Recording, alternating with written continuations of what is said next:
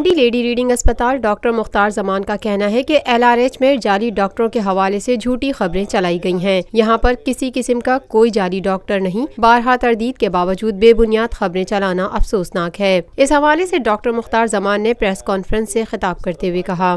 اور ایک بندے کا تو نام اور تصویر کے ساتھ باقاعدگی کے ساتھ جو ہے، وہ خبر بھی چلی نیوز بھی چھپی۔ اور ہم سے رابطے بھی کیے گئے ہیں۔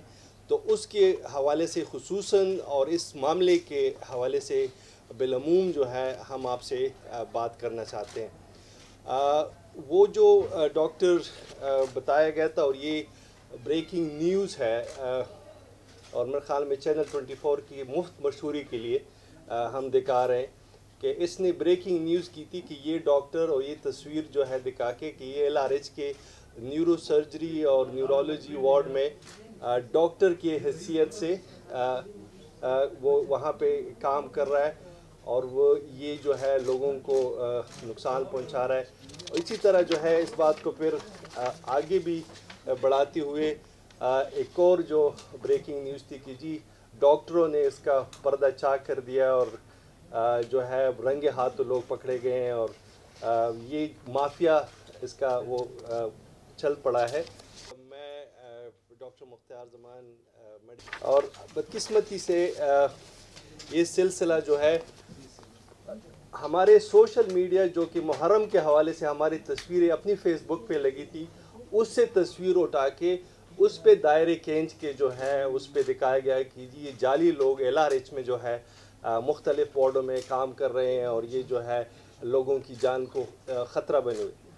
ہم نے اوبیسلی یہ بات اس طرح چلتی رہی اور پھر اخباروں میں بھی جو ہے، ایک ٹائٹل چلے کہ جی ایل آر ایچ میں بہت سارے اس قسم کے لوگ ہیں اور اس بندے کا خصوصاً نام دیا گیا ہے۔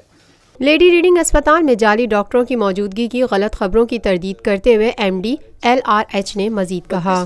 اور افسوس کی بات یہ کہ ہم بار بار اس کی تردید کرتے رہیں کہ اس قسم کا کوئی بھی ڈاکٹر یا کوئی بندہ یا جو ہیلتھ وہ ہے وہ ہمارے پاس نہیں ہے۔ اور اس کی ہم وہ یہ ایک دوسری خیبر ہے۔ خیبر خیبر کوئی اخبار خیبر ہے جو کہ اس نے بڑے ماشاءاللہ اپنے پورے صفحے کو جو ہے اس قسم کی نیوز سے جو ہے وہ کیے اور اپنے فیس بک پیجز پہ سوشل میڈیا پہ ہمیں خفیہ طور پہ بھی جو ہے وہ میسیجز کرتے رہے ہیں، گروپوں میں بھی میسیج کرتے رہے ہمیں وارننگز بھی کرتے ہیں کہ ڈاکٹر صاحب، آپ پہ بڑی وبا آنے والی ہے، آپ پہ بہت بڑا جو ہے وہ ہونے والا ہے۔ تو ہمیں وہ اپنے بن کے ہمیں وارننگ بھی دیتے رہے۔ لیکن ہم نے اس وقت بھی اس کی بالکل تردید کی تھی۔ کہ اس قسم کا کوئی بندہ ہمارے پاس یہاں پہ موجود نہیں ہے۔ اور میرے خیال میں اس سے پہلے میں اس کو سم اپ کر دوں گا۔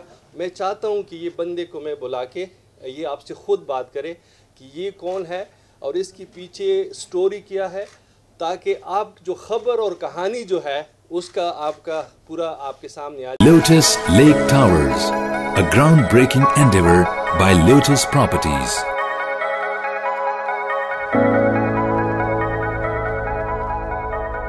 Pakistan بھر میں نمائندگان کا وسیع نیٹ ورک۔ ہر خبر جاننے کے لیے دیکھتے رہیے T N N T V.